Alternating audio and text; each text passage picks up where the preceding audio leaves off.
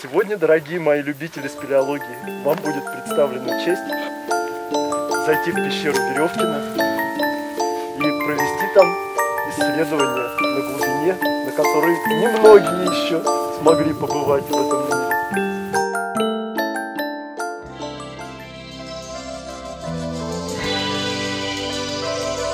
Алло,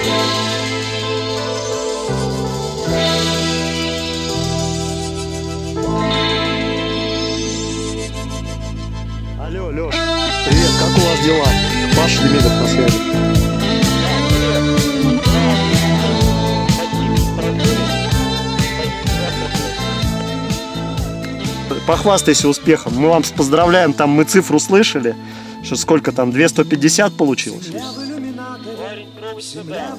Так, понятно, что много не будет, но пара колодчиков еще наверняка. Вот. Так что, э, может быть, еще с вас мировой рекорд будет в этой экспедиции. В разгаре экспедиция, организованная двумя командами Московского Перовского клуба спелеологов в пещеру имени Александра Веревкина. С 27 июля в пещере начала работать молодая команда клуба, а 14 августа на смену им присоединилась наша команда Перова-Спелева. Так случилось, что именно первая часть экспедиции привела нас к открытию мирового масштаба. Вчера Леха вышел в лаге 1300 и отзвонился, что 250. 250 это хорошо. Это, это очень хорошо. 8 августа ребята из команды Перовского клуба под руководством Алексея Барашкова спустились в пещеру Веревкина до отметки 2151 метр и оказались ниже, чем это возможно в самой глубокой пещере мира Воронья Крубера без использования аквалангов. Прошлая зимняя экспедиция остановилась на отметке 1800 с небольшим метров. Остановилась она на полусифоне. Затопленный ход. Для его прохождения требуется гидрокостюм. На тот момент ребят с собой не было, и дальше они поэтому спашлись. Э, Зная это, мы с собой гидрокостюм взяли. Э, Пройдя этот полусифон, вышли к следующему колодцу. Такой результат обрадовал и вдохновил нас. Нашей мечте о своей пещере глубиной 2143 метра суждено было сбыться. Наша экспедиция началась два дня назад. Мы носили груз до пещеры и сегодня будем заходить в пещеру и начнем там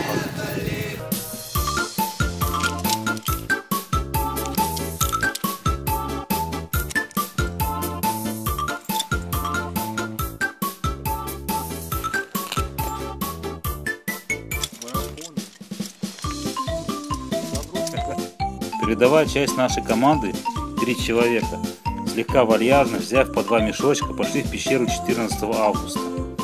Остальные семеро и я вместе с ними начали спуск лишь 16 числа. Я с удовольствием в этом сюжете хочу представить передовую группу участников экспедиции. Павел Демидов, руководитель экспедиции, Сденок Дворжик, Андрей Зызников, он же Фагот, Евгений Рыбка, Федор Гуваков. Оставляешь, да? Не надо. Андрей и Наташа Сизиковы. Константин Зверев.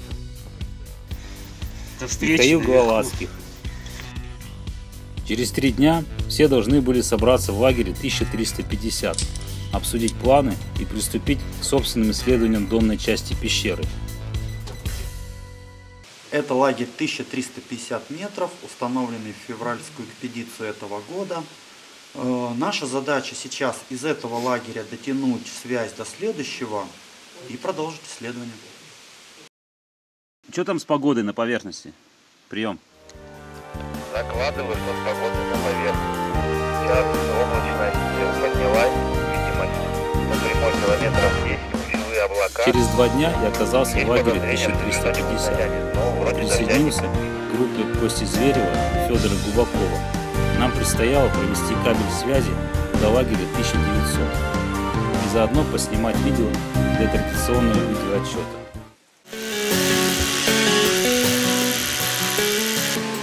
Протяжка телефонной связи жизненно важна в глубоких пещерах.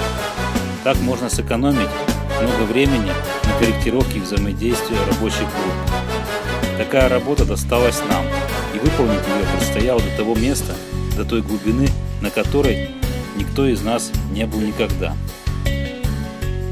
Сейчас идем из лагеря 1350, тянем э, связь до лагеря 1900. И там сегодня будем ночевать. Это первый раз моя такая э, глубокая пещера. Я думаю, она станет самой глубокой и ощущаю себя очень круто. Думал, будет страшно, но все окей. Идем дальше вниз. Пока мы спускались по известной части пещеры, несколько часов назад прошли колодец 115 метров полторашку, а сейчас шли вниз по каскаду обводненных колодцев до глубины 1700 метров. Хватило? Хватило, осталась одна бухта и надо сращивать. Пещера глубокая, нужна связь. Три лагеря плюс поверхность, чтобы координировать действия, конечно, без связи плохо. Лагерь 1350, прием. Слушать новогодние обращения. Отлично, связь работает. Отлично, капитан. Вы гладили уже? Нет, мы дошли где-то до 1700. Размотали первых 500 метров провода. Сейчас с, с Ростемих и дальше пойдем. Прием.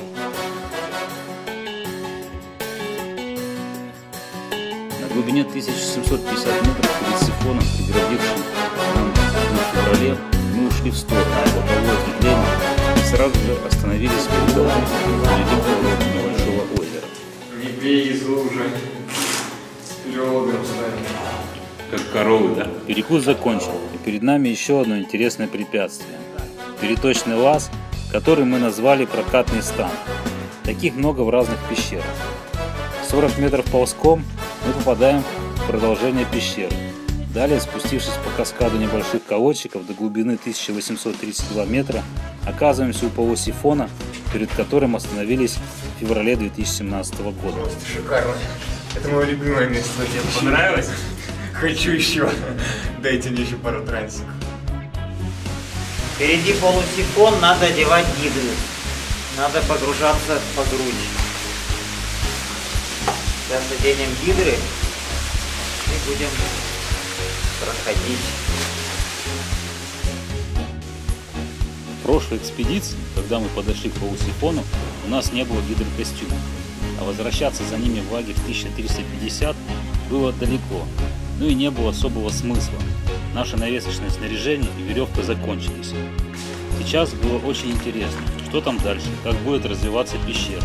И увидеть это хотелось собственными глазами, а не воспринимать чужих слов. Свод в полусифоне стал повышаться, и ход превратился в обычный меандр затопленный. Ой, скажу я вам всем, спелеология очень дискомфортная деятельность. Корячится. Маму. Зато интересно. Как и ожидалось, пещера не закончилась. Большой 70-метровый колодец небольшим водопадом оборвался вниз. По ощущениям, пещера даже стала шире. После колодца наш путь уходил в сухой ход к лагерю 1900. Основная же вода оставалась в стороне. Сейчас мы находимся в лагере 1900 метров. Пещера стала реально очень большая. То есть уже двумя лагерями мы никак не можем обойтись. Приходится восстанавливать лагеря через каждые 400 метров.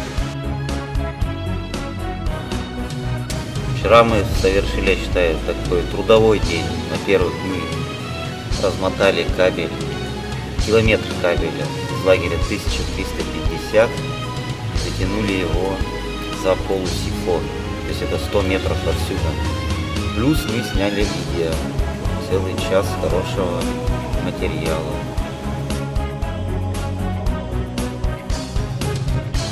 Наступил новый день. В лагерь 1900 потянулись Денок и Натаха. Они шли строить площадку под новый лагерь ниже на 2100 метров. Привет, Петрович. Привет! Как там жизнь? Жизнь замечательна. Пещера красивая. Большая. Офигительная пещера.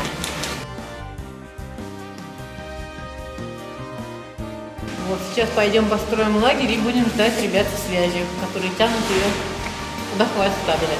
После лагеря 1900 пещера стала другой. Широкий сухой ход с непроглядными чердаками, много песка и в то же время присутствует вторичное образование натеки. Мы находимся на глубине примерно 2000 метров. Здесь идет красивый сухой ход с песком на дне, с красивыми натеками. Здесь вообще такие отличные красно-карамельные натеки, сталактиты, сталактиты.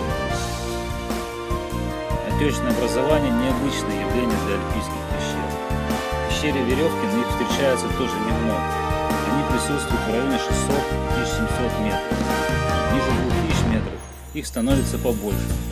То тут, то там неожиданно встречаются островочки натеков, сталактитов и гелектитов разных цветов и оттенков. Можно встретить озера с бурыми и прозрачными ежиками кристаллов.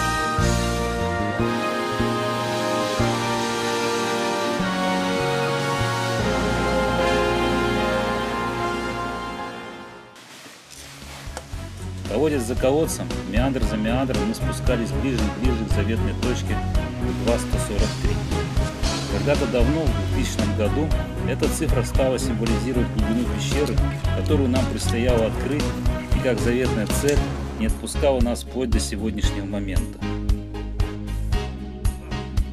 Вскоре, посреди очередного колодца, в сторону уходим по перилам и оказываемся в просторной галерее. Здесь уже практически установлен новый подземный лагерь.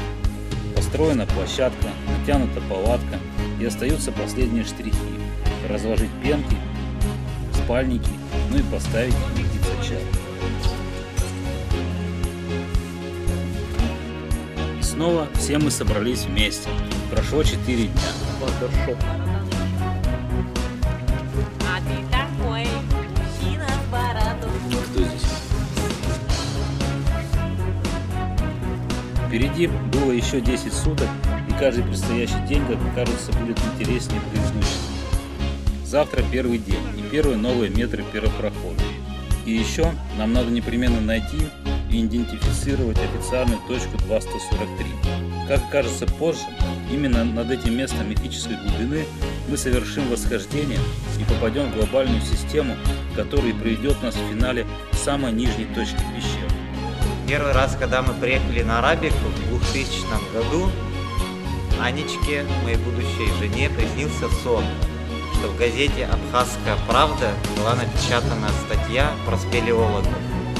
Звучало там так. Московские спелеологи нашли на Арабике пещеру глубиной 2143 метра. В те годы самая глубокая пещера была 1610 в Монтрексофе. И такая глубина нам казалась вообще какой-то там, не знаю, невероятной. Но время показало, что пещеры есть глубже 243 метров. Сейчас мы находимся как раз на отметке 2143 метра. Анечка, твой сон сбылся через 17 лет. И пещера еще продолжается. Это, кстати, еще не все. Мы готовимся к прохождению нового, неизведанного полусифона на глубине 2150 метров. Надеемся на продолжение. Ух! Первым делом мы решили проверить сифоны, которые обнаружили ребята до нас. Два сифона из трех оказались полусифонами, то есть их просто можно было проплыть, а не проныривать. Особенно интересным оказался сифон, вернее полусифон, который получил название озера Степана Разина.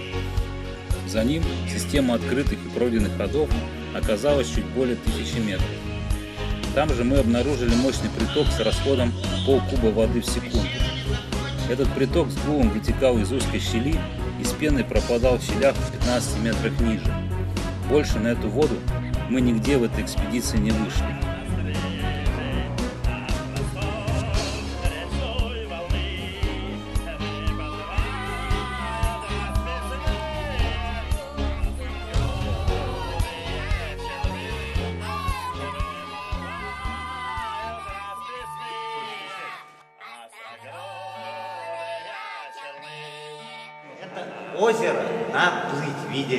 Холодное такое, сволочь, это озеро. А за ним идешь, там сухие галереи. И таких мест было несколько, где мы обнаружили многочисленные системы ходов. После восхождения с отметки 2143 метра перед нами открылась целая пещерная страна, где на карту было нанесено 5,5 километров галерей и проходов. И это было настоящее открытие нашей экспедиции. Мифический коллектор, собирающий в себя множество приходящих пещер, простирался перед нами многоуровневым лабиринтом. Каждый день ребята из команды первого спеля ходили туда, как на работу, снимать топографическую карту и искать новое продолжение результате летней экспедиции 2017 года в пещере Веревкина была достигнута рекордная глубина 2204 метра от уровня входа. Пещера заняла первую строчку среди глубочайших пещер мира.